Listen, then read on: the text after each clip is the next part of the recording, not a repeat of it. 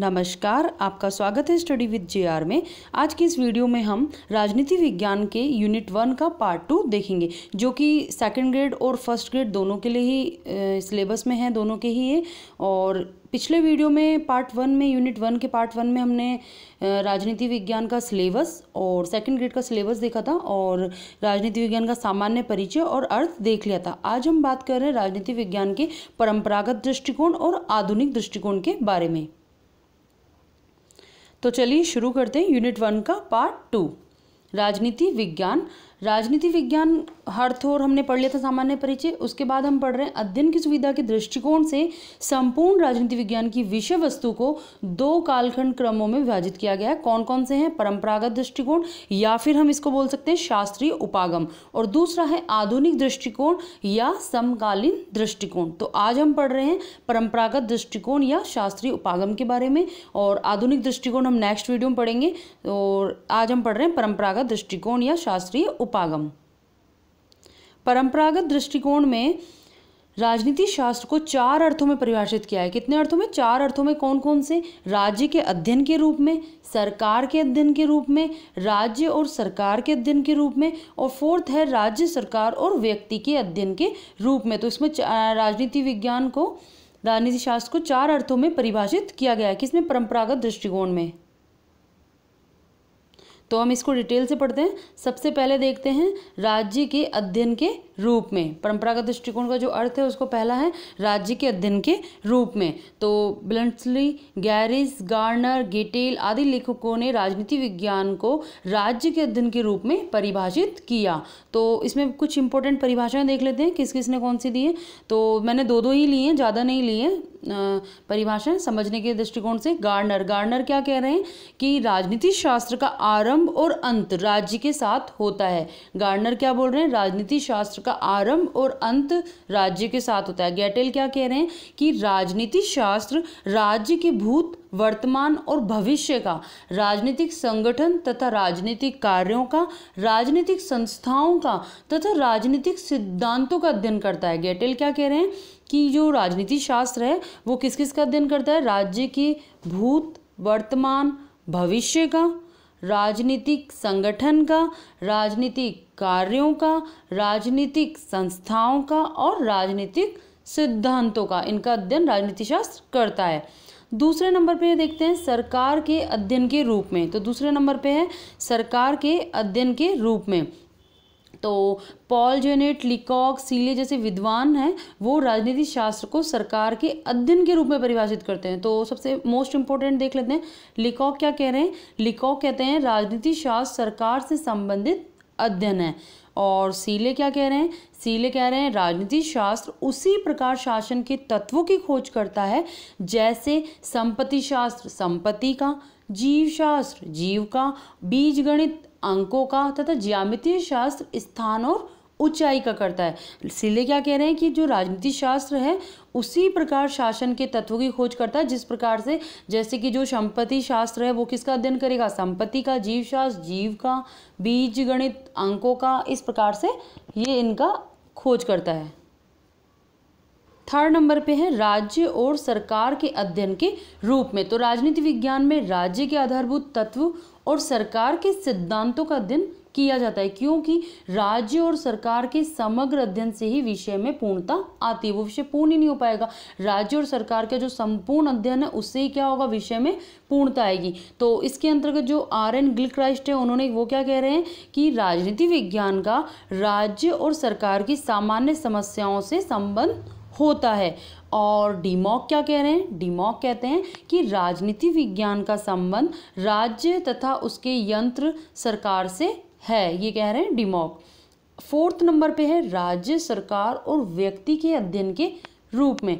तो व्यक्ति के अध्ययन के बिना राजनीति शास्त्र का अध्ययन अध्ययन तो अधूरा है, क्योंकि राजनीतिक संस्थाएँ जो होती हैं, व्यक्ति के संबंधों के संदर्भ में ही कार्य करती हैं। तो व्यक्ति के अध्ययन के बिना तो राजनीति शास्त्र का अध्ययन देखा जाए तो एक तरह से पूरा अधूरा ही है। तो इस संबंध में लास्की क्या कह रहे हैं? लास्की के शब्दों में राजनीति विज्ञान के अध्ययन का संबंध संगठित राज्यों से संबंधित मनुष्य के जीवन से है। लास्ट की क्या कह रहे हैं? कि राजनीति विज्ञान के अध्ययन का संबंध संगठित राज्यों से संबंधित मनुष्य के जीवन से है। और हरमन टेलर क्या कह रहे हैं? हरमन टेलर कहते हैं, राजनीति शास्त्र के सर्वांगीण स्वरूप का निर्धारण व्यक्ति संबंधी मूलभूत पूर्व मान्यताओं द्वारा होता है। तो कुल मिलाकर ये कह सकते हैं कि जो परंपरावादी विद्वान हैं, वो राजनीति विज्ञान को राज्य, सरकार और व्यक्ति, तीनों का अध्ययन करने वाला विषय मानते हैं। क्योंकि राज्य के बिना सरकार की कल्पना नहीं की जा सकती, क्योंकि सरकार राज्य प्रदत्त शक्ति का ही प्रयोग करती है तो राज्य के बिना अगर सरकार की कल्पना तो कर ही नहीं सकते और सरकार के बिना राज्य एक अमूर्त कल्पना मात्र है और व्यक्ति राज्य की प्राथमिक इकाई है। तो अतः हम क्या कह सकते हैं कि परंपरागत दृष्टिकोण के अनुसार राजनीति शास्त्र के अंतर्गत, राजनीति शास्त्र के अंतर्गत राज्य, सरकार, व्यक्ति के अंत संबंधों का अध्ययन किया जाता है। राजनीति शास्त्र में परंपरागत दृष्टिकोण के अनुसार क्या है कि राजनीति शास्त्र में राज्य, सरकार और व्यक्ति के अंत संबंधों का अध्ययन किया जाता है। अब देखते हैं परंपरागत राजनीति विज्ञान की अध्ययन पद्धतियाँ। तो परंपरागत राजनीति विज्ञान की कौन कौन सी अध्ययन पद्धतियाँ हैं? तो सबसे पहले नंबर पे है दार्शनिक पद्धति, दूसरे नंबर पे है काल्पनिक पद्धति, तीसरे नंबर पे है ऐतिहासिक पद्धति, फोर्थ पे है तुलनात्मक पद्धति, फिफ्थ नंबर पे है कानूनी पद्धति और सिक्स नंबर पे है निगमनात्मक पद्धति। तो इनको हम डिटेल से देख लेते हैं। तो पहले नंबर पे है दार्शनिक पद्धति, दार्शनिक पद्धति जो है, इस पद्धति में क्या होता है कि तथ्यों के आधार पर नियम निर्माण नहीं किए जाते। इस पद्धति में दार्शनिक जो पद्धति है, दार्शनिक पद्धति में तथ्यों के आधार पर नियम निर्माण नहीं किए जाते। अभी तो क्या होता है कि राज्य की उत्पत्ति एवं पद्धति के संबंध में दार्शनिक एवं काल्पनिक मान्यताएँ स्वीकार कर ली जाती हैं। और इस पद्धति में क्या होता है कि तत्व मीमांसा के आधार पर प्रस्तुत विषय वस्तु का मूल्यांकन किया जाता है। तत्व मीमांसा के आधार पर प्रस्तुत जो विषय वस्तु है, उसका मूल्यांकन किया जाता है। यह पद्धति कारण से कार्य और सामान्य सिद्धांतों से उनके निष्कर्षों पर पहुँचने की विधि है। यह जो विधि है, दार्शनिक विधि, यह क्या है? कारण से कार्य, कारण से कार्य और सामान्य सिद्धांतों से उनके निष्कर्षों पर पहुँचने की विधि है। और इस जो विधि है, पद्धति है, इसके समर्थक कौन कौन से हैं? तो इसके समर्थक हैं सुकरात, Plato, Rousseau, Kant, Bosanquet Hegel Green, Thomson, Sidgwick, Mill. ये इसके समर्थक हैं। दूसरे नंबर पे है काल्पनिक पद्धति। यह एक काल्पनिक पद्धति है। तीसरे नंबर पे है ऐतिहासिक पद्धति। तो परंपरागत दृष्टिकोण में अध्ययन की ऐतिहासिक पद्धति का प्रयोग किया गया है। जो परंपरागत परंपरागत दृष्टिकोण है, इसमें अध्ययन की जो ऐतिहासिक पद्धति है, इसका प्रयोग किया गया है और इसकी मान्यता है कि इतिहास राजनीति विज्ञान की प्रयोगशाला है। इसमें क्या होता है? राजनीतिक संस्थाओं, आदर्शों, सिद्धांतों और समस्याओं की जड़ें अथवा प्रमाणिकता का स्रोत क्या है? इतिहास है। जो क्यों मानता है ये ऐतिहासिक पद्धति? क्योंकि जो राजनीतिक संस्थाएँ हैं, आदर्श हैं, सिद्धांत हैं, समस्याएँ हैं, समस्याओं की जड़ें अथवा प्रमाणिकता का जो स्रोत है, वो क्या है? इतिहास है। इसलिए ये क्या है? एक ऐतिहासिक पद्धति है। इसके समर्थकों की बात करें तो कौन कौन से इसके समर्थक हैं? इसके समर्थक ऐतिहासिक पद्धति के समर्थक हैं Machiavelli, बौदा, Montesquieu, Burke, Marx, Seeley, Freeman. ये इसके समर्थक हैं।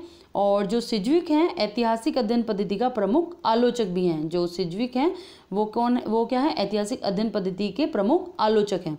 नेक्स्ट है तुलनात्मक अध्ययन पद्धति। तुलनात्मक अध्ययन पद्धति के इसके अंतर्गत क्या होता है कि विभिन्न राज्यों की शासन पद्धतियों का तुलनात्मक अध्ययन किया जाता है। तुलनात्मक अध्ययन पद्धति में क्या होता है कि जो विभिन्न राज्य हैं, उनकी जो शासन पद्धतियाँ हैं, उनका तुलनात्मक अध्ययन किया जाता है। जो अरस्तु ने बुक लिखी थी अपनी जो उनकी महान रचना है, पॉलिटिक्स, इसकी रचना करने से पहले ही तत्कालीन एक सौ अट्ठावन शासन व्यवस्थाओं का तुलनात्मक अध्ययन किया। किसने? अरस्तु ने। अरस्तु ने अपनी जो महान रचना है, पॉलिटिक्स, उसकी रचना करने से पहले ही तत्कालीन एक सौ अट्ठावन शासन व्यवस्थाओं का तुलनात्मक अध्ययन किया था। और इस पद्धति के समर्थक की बात करें तो कौन कौन से हैं इसके समर्थक? तो तुलनात्मक अध्ययन पद्धति के समर्थक हैं मॉन्टेस्क्यू, टॉकविले, लबाउले, ब्राइस और फाइनर। नेक्स्ट विधि है विधि या कानूनी पद्धति। तो यह पद्धति राज्य को एक कानूनी इकाई मानती है, जिसका कार्य कानून बनाना और उन्हें क्रियान्वित करना है। ये पद्धति जो है, विधिक या कानूनी पद्धति क्या है? राज्य को कानूनी इकाई मानती है, जिसका कार्य क्या है? कानून बनाना और उन्हें क्रियान्वित करना। इसमें राजनीतिक संस्थाओं का अध्ययन संवैधानिक कानून के परिप्रेक्ष्य में किया जाता है। और इसके समर्थकों की बात करें तो समर्थक हैं इसके बिलोबी और डिग्बी। ये इनके समर्थक हैं। नेक्स्ट है निगमनात्मक अध्ययन पद्धति। निगमनात्मक अध्ययन पद्धति के अंतर्गत क्या है? इस अध्ययन पद्धति में किसी भी एक मान्यता अथवा सिद्धांत को स्वयं सिद्ध रूप में या विचारबद्ध के रूप में स्वीकार कर लिया जाता है।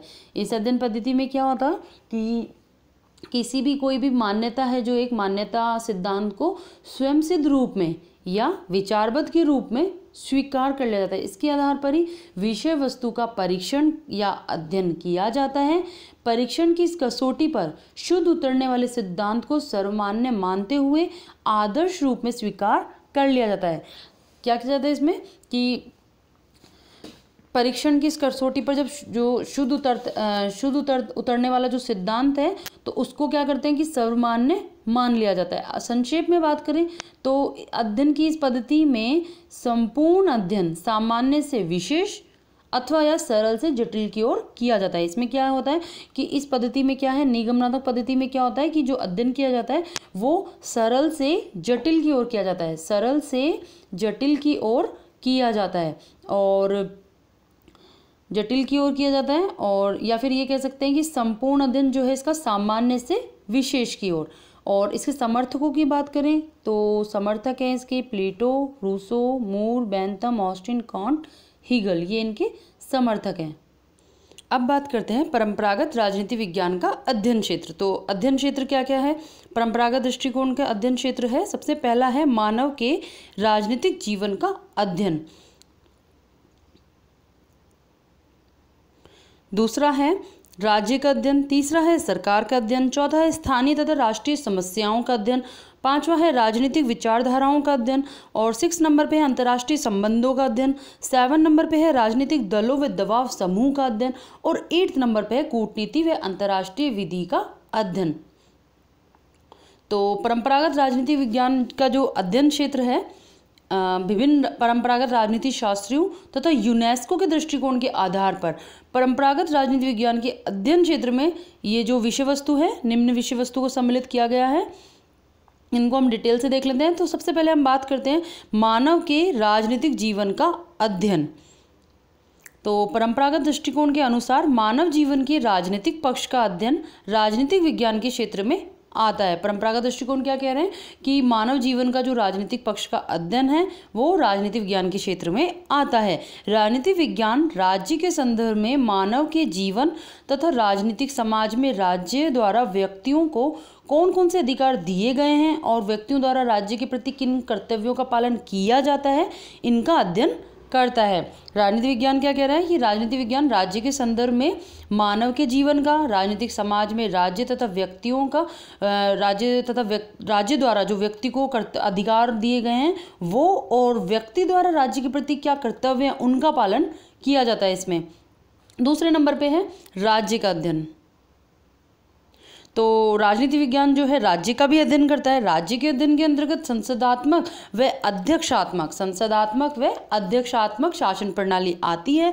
संसदात्मक शासन प्रणाली क्या है? संसदात्मक शासन प्रणाली वह है जिसमें कार्यपालिका तथा कार्यपालिका व्यवस्थापिका के प्रति उत्तरदायी होती है तथा शासन की शक्ति जो है, शासन की शक्ति के दो केंद्र होते हैं। एक तो नाम मात्र का और एक वास्तविक। और अध्यक्षात्मक शासन प्रणाली की बात करें तो अध्यक्षात्मक शासन प्रणाली क्या है? अध्यक्षात्मक शासन प्रणाली वह शासन प्रणाली है, जिसमें कार्यपालिका व्यवस्थापिका के प्रति उत्तरदायी नहीं होती, तथा शासक की शक्ति का केंद्र शासक की शक्ति का एक केंद्र होता है, जैसे अमेरिका में अध्यक्षात्मक शासन प्रणाली है उस तरीके से। तो यह राज्य के अतीत, जो राज्य के अध्ययन के अंतर्गत क्या होता है कि राज्य के अतीत, वर्तमान और भविष्य का अध्ययन किया जाता है। ये इसमें क्या हो जाता है कि राज्य कैसा रहा है, राज्य कैसा है और राज्य को कैसा होना चाहिए, इस बात का भी इसके अंतर्गत अध्ययन किया जाता है। थर्ड नंबर पे है सरकार का अध्ययन। इसके अध्ययन क्षेत्र में थर्ड नंबर पे है सरकार का अध्ययन। तो राज्य सरकार के माध्यम से कार्य करता है। राज्य जो है वो किसके माध्यम से कार्य करता है? सरकार के माध्यम से। और सरकार राज्य की इच्छा को प्रकट करती है, उसे क्रियान्वित करती है, तथा उसकी सिद्धि के लिए प्रयास करती है। अतः हम क्या कह सकते हैं कि राजनीति विज्ञान के अध्ययन का एक प्रमुख विषय सरकार है। जो राजनीति विज्ञान है, इसके अध्ययन का एक प्रमुख विषय क्या है? सरकार। राजनीति विज्ञान के अंतर्गत सरकार के प्राचीन और आधुनिक रूपों का अध्ययन किया जाता है। विभिन्न देशों में विद्यमान शासन प्रणालियों का, शासन के विभिन्न अंग का, व्यवस्थापिका का, कार्यपालिका का, न्यायपालिका का, राजनीतिक प्रक्रियाओं आदि का अध्ययन किया जाता है। फोर्थ नंबर पे है, स्थानीय तथा राष्ट्रीय समस्याओं का अध्ययन। तो राजनीति विज्ञान जो है, स्थानीय व राष्ट्रीय समस्याओं का अध्ययन करता है और इन समस्याओं के हल के उपाय भी सुझाता है। ये स्थानीय स्वशासन संस्थाओं के संगठन कार्य प्रणाली तथा कार्य क्षेत्र का अध्ययन भी करता है। राजनीति विज्ञान जो है वो राष्ट्रीय एकता, अखंडता, विकास के मार्ग में बाधक समस्याओं का समाधान करता है और इनके हल के उपाय भी सुझाता है। तो इस तरीके से क्या है कि राजनीति विज्ञान जो है वो स्थानीय तथा राष्ट्रीय समस्याओं का अध्ययन भी करता है। नेक्स्ट पॉइंट है राजनीतिक विचारधाराओं का अध्ययन। तो इसके अंतर्गत क्या आएगा कि राजनीति विज्ञान के इतिहास की अनेक विचारधाराएँ, राजनीति विज्ञान के इतिहास की अनेक विचारधाराएँ कौन कौन सी हैं? जैसे कि आदर्शवाद, व्यक्तिवाद, अराजकतावाद, फांसीवाद, समाजवाद, साम्यवाद तथा बहुलवाद आदि का राजनीति विज्ञान के अंतर्गत एक तुलनात्मक अध्ययन किया जाता है। और यह देखा जाता है कि अतीत में इन विचारधाराओं ने मानव जीवन को किस प्रकार प्रभावित किया। तो इसके अंतर्गत क्या है? राजनीतिक विचारधाराओं का भी अध्ययन किया जाता है और सिक्स नंबर पे अंतर्राष्ट्रीय संबंधों का अध्ययन। तो इसके अंतर्गत आएगा कि एक राज्य को अन्य राज्यों के साथ जो संबंधों का निर्वाह करना होता है, जिसके अंतर्गत विभिन्न राज्य परस्पर समझौते व संधियाँ करते हैं।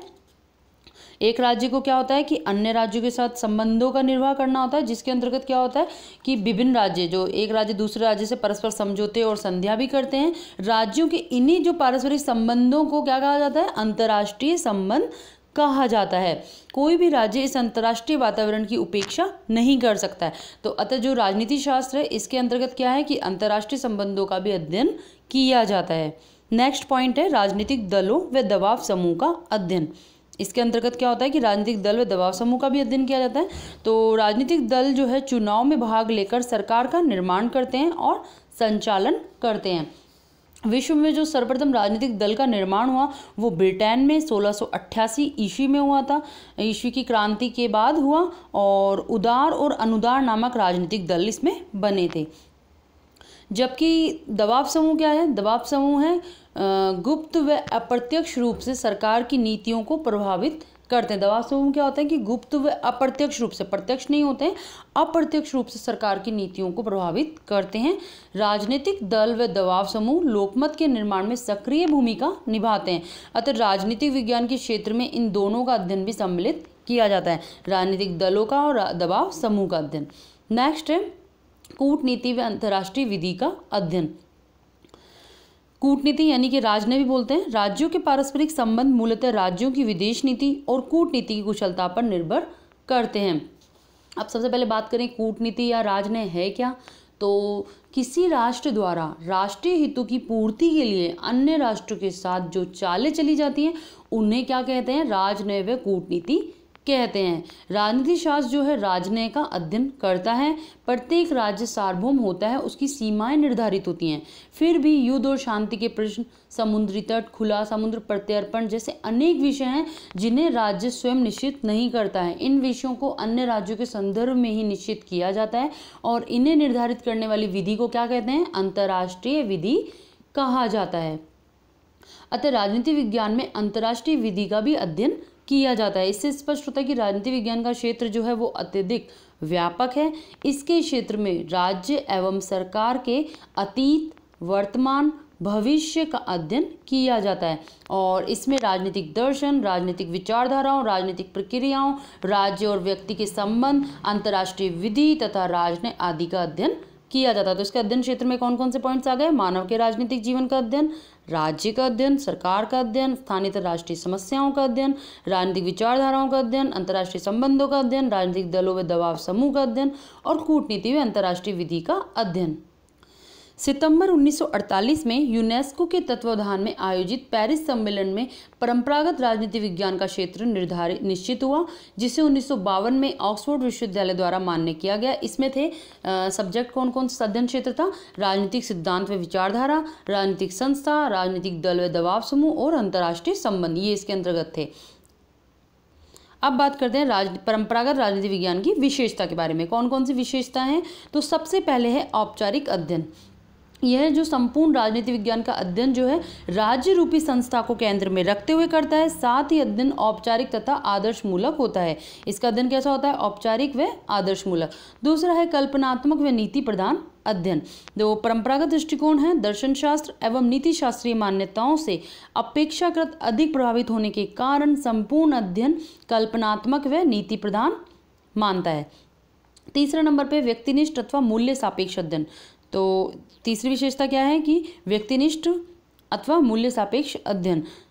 परंपरागत दृष्टिकोण में अध्ययन करता प्रस्तुत विषय वस्तु का अध्ययन अपने व्यक्तिगत मूल्य, मान को, मान्यताओं को संलग्न करते हुए करता है, अतः संपूर्ण अध्ययन व्यक्तिनिष्ठ और मूल्य सापेक्ष होता है। फोर्थ नंबर पे है, एकल अनुशासनात्मक अध्ययन। परंपरागत दृष्टिकोण जो है, परंपरागत दृष्टिकोण का संपूर्ण अध्ययन सिर्फ़ और सिर्फ़ जीवन की राजनीतिक पक्ष के संदर्भ में ही विषय का अध्ययन करता है। तो ये क्या है? एकल अनुशासनात्मक अध्ययन करता है और फिफ्थ नंबर पे है, चाहिए से संबंधित। अर्थात परंपरागत दृष्टिकोण में दर्शन शास्त्र एवं नीति शास्त्रीय दृष्टिकोण होने के कारण मूल्य, आदर्श आधारित चाहिए वाक्यांश की अधिकता देखी जाती है। इसमें क्या होता है कि चाहिए वाक्यांश की अधिकता होती है। और सिक्स नंबर पे है राजनीति विज्ञान, सर्वोच्च विज्ञान। तो जो परंपरागत दृष्टिकोण है, उसका अंतिम उद्देश्य जो है, वो है राजनीति विज्ञान को सर्वोच्च विज्ञान, यानी कि मास्टर साइंस के रूप में स्थापित करना। तो ये तो हो गई परंपरागत राजनीति विज्ञान की विशेषताएँ। चलिए अब देख लेते हैं परंपरागत राजनीति विज्ञान की कमियाँ। इसकी कमियाँ कौन कौन सी हैं? इसमें कमियाँ हैं। पहले नंबर पे है, स्थायी समाधान खोजने में असफल। जो परंपरागत राजनीति विज्ञान है, वो स्थायी समाधान खोजने में असफल रहा। तो परंपरागत दृष्टिकोण जो है, समकालीन राजनीतिक समस्याओं का स्थायी समाधान जो है खोजने में क्या रहा? असफल रहा। दूसरे नंबर पे है, ये कोरा आदर्शवाद है। अध्ययन के दौरान जो है, मूल्य, आदर्श एवं मानकों पर आवश्यकता से अधिक बल देने से यह क्या हुआ? कोरा आदर्शवाद प्रतीत होता है। तीसरे नंबर पे है। संस्था प्रधान अध्ययन पर बल। तो इसके परंपरागत दृष्टिकोण के अंतर्गत क्या होता है कि सिद्धांत वेताओं ने अध्ययन क्षेत्र को परिवर्तित करने का प्रयास नहीं किया, तथा वह संस्था प्रधान अध्ययन पर बल देते रहे। तो ये क्या है? इसकी एक कमी क्या है कि संस्था प्रधान अध्ययन पर बल देता है। फोर्थ नंबर पे है काल्पनिक अध्ययन। तो समस्त कार्य कल्पनाओं पर आधारित बनकर रह गया। तो ये क्या है? एक तरह से काल्पनिक अध्ययन भी है। फिफ्थ नंबर पे है अप्रासंगिक। तो विषय की अध्ययन पद्धति इतनी दोषपूर्ण थी कि उनका किसी भी स्तर पर प्रासंगिक बनना असंभव नज़र आ रहा था तो इसलिए क्या है? इसमें एक कमी क्या रही? अप्रासंगिकता की। तो राजनीति विज्ञान का परंपरागत दृष्टिकोण कंप्लीट हो गया है। एक बार हम देख लेते हैं इसको, रिवाइज कर लेते हैं कि जो परंपरागत दृष्टिकोण है, चार अर्थों में परिभाषित है। क्या क्या है? राज्य, सरकार, राज्य और सरकार। राज्य, सरकार और व्यक्ति के अध्ययन के रूप में ये चार हो गए, चार अर्थों में परिभाषा है। और अध्ययन पद्धति अध्ययन पद्धति कौन कौन सी है? दार्शनिक पद्धति, काल्पनिक पद्धति, ऐतिहासिक पद्धति और तुलनात्मक पद्धति, कानूनी पद्धति, निगमनात्मक पद्धति। ये हो गई इसकी अध्ययन पद्धतियाँ। अब बात करें इसके अध्ययन क्षेत्र की तो अध्ययन क्षेत्र कौन कौन से हैं? हैं, मानव के राजनीतिक जीवन का अध्ययन करता है, राज्य का अध्ययन करता है, सरकार का अध्ययन करता है, स्थानीय तथा राष्ट्रीय समस्याओं का अध्ययन करता है, राजनीतिक विचारधाराओं का अध्ययन करता है, अंतर्राष्ट्रीय संबंधों का अध्ययन करता है, राजनीतिक दलों में दबाव समूह का अध्ययन करता है, कूटनीति व अंतर्राष्ट्रीय विधि का भी अध्ययन करता है। विशेषता देख लेते हैं। विशेषता क्या क्या है? परंपरागत राजनीति विज्ञान की विशेषता है, औपचारिक अध्ययन है, कल्पनात्मक व नीति प्रधान अध्ययन है, व्यक्तिनिष्ठ अथवा मूल्य सापेक्ष अध्ययन है, एकल अनुशासनात्मक अध्ययन है, चाहिए से संबंधित है। राजनीति विज्ञान सर्वोच्च विज्ञान मानता है राजनीति विज्ञान को। और इसकी कमियाँ, कमियों के बारे में बात करें तो स्थायी समाधान खोजने में असफल रही। कोरा आदर्शवाद है ये और संस्था प्रधान अध्ययन पर बल दिया गया है। काल्पनिक अध्ययन है, अप्रासंगिक है। तो इसके साथ ही हमारा परंपरागत दृष्टिकोण कंप्लीट हो गया है। नेक्स्ट वीडियो में हम राजनीति विज्ञान का आधुनिक दृष्टिकोण देखेंगे। इस वीडियो में इतना ही। अगर वीडियो अच्छी लगी तो प्लीज़ लाइक शेयर ज़रूर करना और चैनल को सब्सक्राइब करना। धन्यवाद।